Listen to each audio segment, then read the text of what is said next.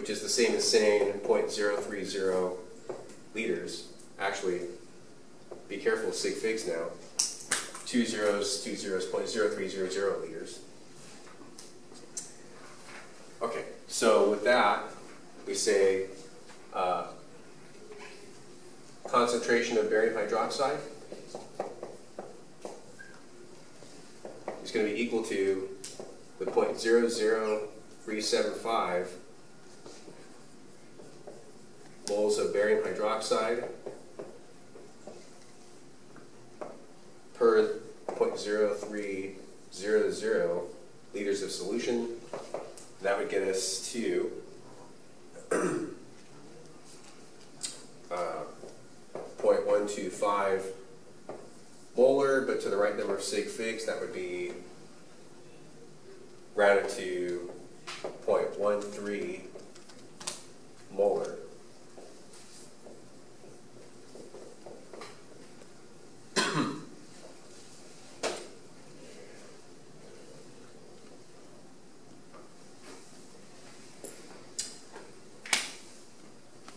All right. There's another question here. It says, uh, it says, what is the barium ion concentration after neutralization is complete?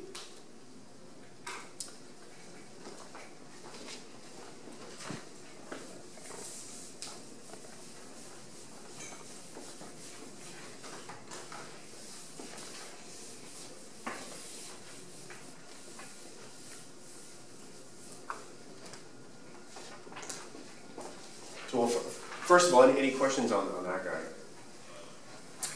Okay. Um, so here's the thing. Uh, we can just do this the, this last part tomorrow, but um, some people, when they do titration problems, they say, "Oh yeah, um, just use M1, V1 equals M2, V2. or in other words, molarity of acid times volume of acid but if you do this, you might forget about that 1 to 2 mole-mole ratio. So what I suggest is treat it like all other stoichiometry problems we've done. Do it that way. Do. Do the streamline method. Because so otherwise, if you if you do this, you might miss out on that mole uh, uh, ratio. All right. So any